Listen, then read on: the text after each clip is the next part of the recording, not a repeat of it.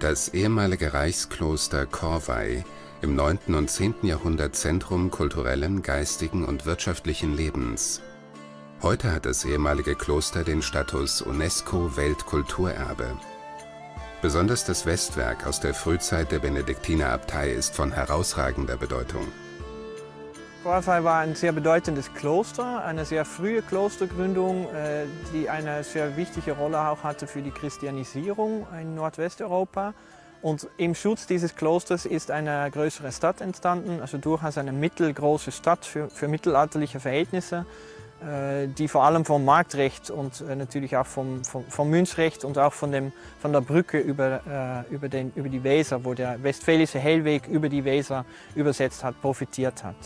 Zurzeit laufen in Chorwei Vorbereitungen für die Landesgartenschau 2023. Die Baumaßnahmen werden archäologisch eng begleitet, um sicherzustellen, dass die Reste der Stadt und des Klosters erhalten bleiben. Für die Landesgartenschau wurde der Grundriss der Pfarrkirche mit Steinen nachgebildet. 1265 wurde die Siedlung durch ein Bündnis der Stadt Höxter mit dem Paderborner Bischof zerstört. Um alle Strukturen in der Erde zu dokumentieren, arbeitet die Archäologie mit modernsten Methoden. Also die Stadt war zum Höhepunkt äh, etwa 50 Hektar groß, die befestigte Fläche der Stadt. Äh, das ist eine Fläche, die wir niemals komplett ausgraben können, die wir auch nicht komplett ausgraben wollen. Nichtsdestotrotz möchten wir natürlich äh, diese versunkene Stadt, wenn man so will, äh, möglichst detailreich äh, kartieren und erforschen, aber ohne sie auszugraben, ohne sie dabei zu zerstören.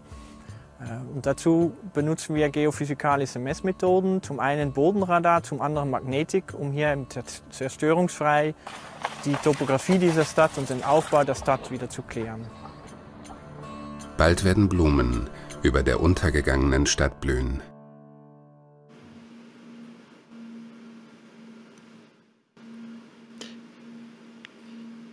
Ja, seit 2014 gehört Chorwei zum UNESCO-Weltkulturerbe und Sie haben es im Video gehört, diesen Status verdankt es natürlich nicht nur dem äh, weithin bekannten Westwerk, dem karolingischen Westwerk, das als eines der besterhaltenen Exemplare karolingischer Architektur in Mitteleuropa gilt, sondern durchaus auch dem viel größeren, unsichtbaren Teil der mittelalterlichen Wüstung und des Klosters, von dem man im heutigen Gelände so gut wie gar nichts mehr äh, sehen kann. Äh, und dessen Kenntnisse wir im Wesentlichen der langjährigen Arbeit äh, des ehemaligen Professors, also Emeritus-Professors Hans-Georg Stephan verdanken, der von den äh, späten 60ern bis zu den frühen 2000ern hier äh, viele Jahre investiert hat mit, äh, in Fehlbegehungen, Baustellenbeobachtungen, Sondagen, durchaus auch größere Grabungen und dabei etliche Baureste der Stadtwüstung freigelegt hat, einige Steinkeller ähm, und wie Sie hier äh, rechts oben Bild sehen, auch den Chor der mutmaßlichen Pfarrkirche sowie an wenigen Stellen auch eine sehr aufwendig äh, gepflasterte Straße, der auch natürlich hier schon den, den Status dieser, dieser Siedlung oder dieser Stadt sehr deutlich markiert. Es gab äh, nach den ersten Bemühungen Hans-Georg Stephans schon in den 80er Jahren äh, mit geophysikalischer Prospektion nochmal eine größere Initiative im Vorfeld des Welterbeantrages um 2011 herum, wo auch schon recht großflächig Magnetikmessungen im Bereich der Stadtwüstung durchgeführt wurden, auch äh, systematische Befliegungen mit Laserscans, also LiDAR-Befliegungen. Aber irgendwie wurden diese Arbeiten nie zu einem wirklich befriedigenden Ende geführt, so dass wir hier äh, entschieden haben, 2019 mit unserem Partner, dem Ludwig Boltzmann Institut für Archäologische Prospektion und virtuelle Archäologie aus Wien, nochmal einen neuen Versuch zu starten und hier äh, neben Magnetik, aber auch vor allem auf systematische Bodenradarmessungen und sehr hochauflösende Bodenradarmessungen setzen, äh, die vor allem dann die, die Mauerreste und die Steinkeller sehr gut sichtbar machen, wie Sie in den nächsten Folien auch sehen werden. Wir haben, äh, noch mal, kurz zurück, ähm, in den letzten Jahren in, in zwei bis drei äh, kleinere Kampagnen, insgesamt über 50 Hektar inzwischen mit Magnetik gemessen, sowie gute 12 Hektar mit Radar. Und Sie sehen hier einen ersten Überblick der Magnetikdaten. Äh, jetzt erkennt man natürlich in diesem Maßstab äh, gar keine Details, aber sicher gut zu erkennen sind links oben im Bild äh, sehr großflächige Störungen, diese weiße und, und, und schwarze Linien, die sich hier fast senkrecht durch das Bild ziehen. Und wenn wir hier mal reinzoomen, also auf den nördlichen Rand der Stadtwüstung, dann sehen Sie äh, nee, ich sehe jetzt nichts. Ähm, ja, äh, hier sehen Sie äh, den letzten Rest des Befestigungsgrabens der ehemaligen Stadt, auch äh, gleichzeitig auch das einzige, äh, der einzige noch sichtbare Überrest der Stadtwüstung. Und dieser Graben setzt sich natürlich wunderbar auch in den Magnetikdaten fort. Ja. Und Sie sehen auch, dass dieser Graben an mindestens zwei Stellen geschnitten wird von diesen, also in diesem Bild jetzt helle Streifen. Das sind Bereiche, wo der Boden mit Sicherheit stärker erodiert ist, wobei wir im Moment nicht sagen können, ob das eine natürliche Erosion ist oder ob wir es hier mit Wege aus der Stadt um Hohlwege äh, zu tun haben, wobei die sich natürlich auch gegenseitig äh, bewirken können. Also eine natürliche Erosion und eine Erosion durch, äh, durch menschliche, also durch die menschliche Nutzung. Wenn wir uns weiter nach Süden bewegen, zum Zentrum der damaligen Stadt, dann sehen wir auch da einige recht große, äh, also lineare Störungen auch, also Anomalien, wie man in der Geophysik sagt, äh, die deutlich korrelieren mit dem schon bekannten Wegenetz, das Hans-Georg Stephan schon äh, rekonstruiert hatte.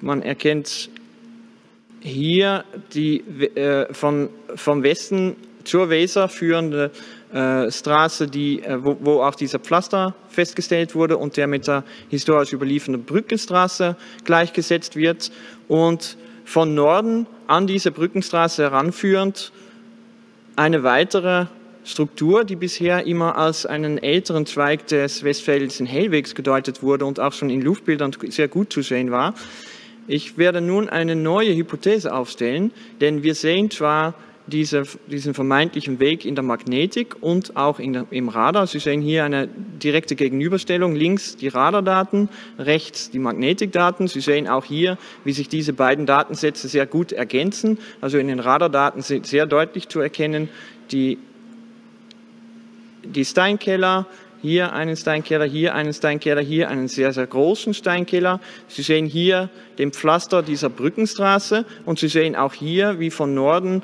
eine weitere äh, lineare Anomalie mit, also stark reflektierende Anomalie, also eine weitere gepflasterte Straße wahrscheinlich an diese Brückenstraße ranführt. Und diese Anomalie, die wir am Radar sehen, ist aber nicht, und das müssen wir jetzt einfach äh, glauben, deckt sich nicht mit der Anomalie im Luftbild äh, und, und in der Magnetik, sondern verläuft parallel dazu. Und genau an der Stelle, wo wir den hellen Streifen in der Magnetik äh, sehen und wo dieser äh, die Brückenstraße kreuzt, haben wir hier eine sehr auffällige Verengung in der Brückenstraße, sodass ich äh, davon ausgehe, dass wir es hier tatsächlich mit einer kleinen Brücke innerhalb der Stadt und mit einem äh, Graben oder möglicherweise sogar einem kleinen Gewässer durch die Stadtwüstung zu tun haben. Sie werden sich vielleicht auch fragen, was es mit dem sternförmigen Objekt hier links unten im Bild zu, äh, auf sich hat. Das hat nun nichts mit der Stadtwüstung zu tun, sondern kann anhand historischer Pläne sehr eindeutig als äh, zentrales äh, Objekt, zentrales Element der barocken oder spätrenaissancezeitlichen Plantage äh, die sich hier befunden hat, äh, identifiziert werden. Und das war natürlich auch ein, ein sehr netter Fund im Hinblick auf die Landesgartenschau, die hier ab nächst, also nächstes Jahr stattfinden wird. Nun äh, zum bisherigen Highlight würde ich sagen unserer Messungen, die, ähm, die Markkirche, die ja schon äh, 1988 in Teilen von Hans-Georg Stephan ausgegraben wurde. Hier eine größere Übersicht und hier dann die Markkirche in verschiedenen Tiefenbereichen. Wir kriegen ja bei den Radardaten durch die unterschiedliche Zeit zwischen, zwischen dem gesendeten äh, Signal und dem empfangenen Signal hier auch Informationen über die Tiefe und können so in verschiedenen tiefen Schichten sozusagen uns durch den Boden bewegen.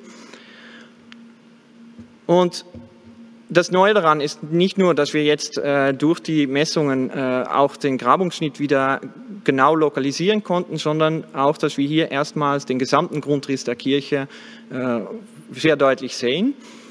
Äh, es handelt sich also um eine äh, dreischiffige Kirche, eine, mit fast symmetrischem Grundriss, mit einem massiven Turm, mit einem mächtigen Einturm im Westen, also kein Westwerk, wie man hier früher vielleicht vermutet hätte. Ähm, und das Spannende ist, dass wir gerade auch äh, durch, die, durch diese sehr hohe Auflösung in den Daten äh, Details sehen, die hier äh, die Vermutung erlauben, dass diese Kirche schon im Langhaus komplett eingewölbt war. Und das ist an sich etwas sehr äh, Spannendes. Die Kirche, die wurde bereits aufgrund der Grabung ab oder in die zweite Hälfte des 12. Jahrhunderts um 1150 datiert. Das wäre auch das frühestmögliche Datum für eine solche eingewölbte Kirche. Und wenn wir das nun vergleichen mit zeitgleichen Kirchen in der Region, also im Weserraum äh, und im Raum Höxter, es gibt sehr deutliche Parallele zu dem äh, Bau 3, also die dritte Ausbauphase der Kirche St. Petri in Höxter sowie das Kloster, die Klosterkirche von Tomroden, auch unmittelbar nördlich von Corvey. Auch die beiden haben im Westen einen großen Turm, haben auch diese Seitenabschieden wie auch unsere Markkirche in Corvey. Aber Sie sehen hier, durch die unterschiedliche Symmetrie ist klar, dass diese beiden Kirchen äh, niemals eingewölbt waren, zumindest nicht im, äh, im Langhaus.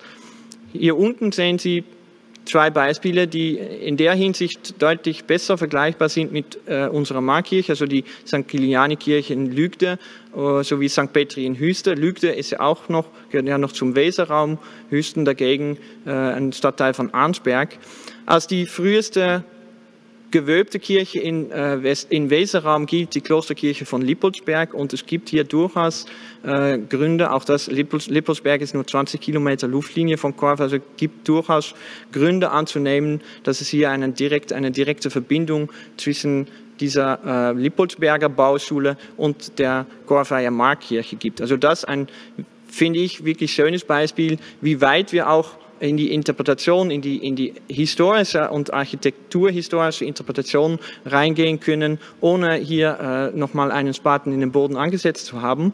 Aber ich möchte auch abschließen mit einem ähm, mit den neuesten Ergebnissen auch, aber auch etwas, das uns äh, auch ein bisschen äh, Grund gibt, vielleicht die Erwartungen hier zu drosseln. Wir werden mit Sicherheit nicht die, die, den gesamten Stadtplan bis ins letzte Detail klären können. Sie sehen links im Bild die Messungen im Remtergarten direkt hinter der Klosterkirche äh, vom letzten Sommer vor den Baumaßnahmen und rechts im Bild die neuesten Messungen, die wir erst vor zwei Wochen äh, aufgenommen haben, nachdem hier im Vorfeld der Landesgartenschau die, der Oberboden, die ersten 30 bis 40 Zentimeter äh, Oberboden abgetragen wurden. Und rechts im Bild sehr, sehr schön zu sehen, die Gräber des Friedhofs hinter der Kirche, schön in Reihe und Glied, von dem wir in, äh, in, äh, in, den Daten vom Sommer noch so gut wie gar nichts erkennen konnten. Also das gibt natürlich auch ein bisschen Grund zu Sorge vielleicht, aber äh, zeigt natürlich, dass wir auch hier bei der geophysikalischen Prospektion durchaus auch äh, unsere Grenzen haben. Und damit möchte ich mich bedanken.